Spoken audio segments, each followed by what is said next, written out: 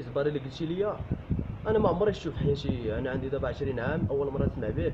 شفتو انايا في الفيسبوك وما شفت الواقع ديالو كي داير ما عرفتوش ما عرفتش أصلا اش غتستافد فيه ولا غتضيع فيه ولا غيستافد فيه الشعب كله ولا غيستافد فيه النص ديال المغرب والباقي غيبقى بطالة. ما عرفتش المهم ما ما كاينش شي حاجة غتستافد فيها الا إلا ما دبرتيش على شي خدمة. اللي دير بها المستقبل ديالك شنو بان لك في هذا التجنيد الإجباري كان هاد الأيام؟ التجنيد الإجباري حاجة طبيعية. كيدخل ليه الشباب من بين 19 عام حتى 25 عام يعني كل واحد وعقليته كاين كتحارب البطالة. يعني الشباب المغربي بزاف ديالهم بطاليين. يقدر يدخلوا يقدر يدخل التجنيد الإجباري. كاين اللي غيدخل كاين اللي ما غيدخلش. يعني كل واحد وعقليته كاين اللي خدام كاين اللي ما خدامش. يعني التجنيد الإجباري حاجة طبيعية. ماشي شي حاجة اللي تفرض عليك تمشي. وكنتمنى من الشباب ديالنا يوعي. والخدمة راه حاجة حاجة عادية إلا خدمتي وتحارب البطالة وتحارب البلاد.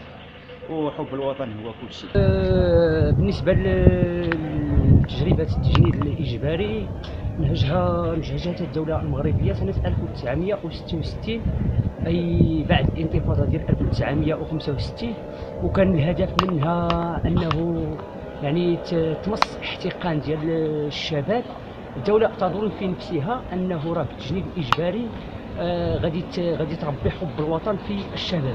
بينما حب الوطن آه، كيتربى بأنه تخليني أنا نحس بأنني في هذا الوطن أن هذا الوطن مني وأنا منه. ما يمكنش أنه تربي فيا حب الوطن في التجنيب الاجباري أي بالديكتاتورية باساليب غير ديمقراطية ديكتاتوريه شباب عاطلين شباب آه، محرومين من شبابهم.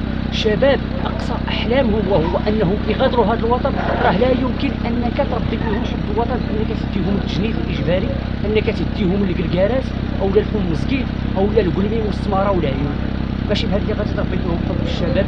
وحنا كنشطاء حقوقيين وكديمقراطيين حنا ضد هاد القرارات هادو وضد هاد القوانين هادو اللي ماشي اللي ماشي ديال القرن الواحد والعشرين وديال 2018 الدولة خاصها تقلب على حلول عقلانية على أساليب عقلانية على حلول ديمقراطية.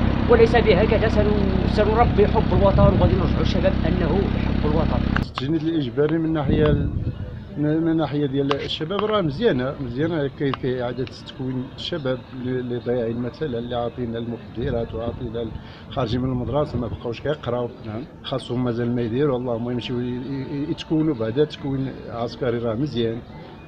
بالنسبة الأخرى عاوتاني اللي كيخرج يدبر على حيد من دوك المسائل حيد من دوك المخدرات و وسميتو ديال الزنقه المهم غيتكون تكوين آه، مزيان. كخطوه إيجابية بالنسبة للشباب في المغرب. كخ- من- خطوة إيجابية بالنسبة لهم.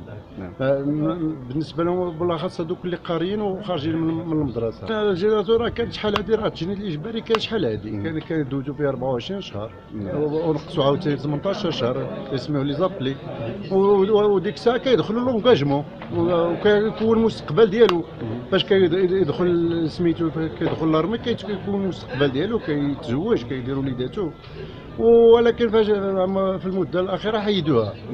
حيدوها وحتى l'engagement راه ما كاينش دابا في l'armée ولكن فاش فاش دايرين دابا التكوين راه يقدر عاوتاني يدمجوهم. يدمجوهم سميتو في الجيش. يقدر يحسن المستوى ديالو.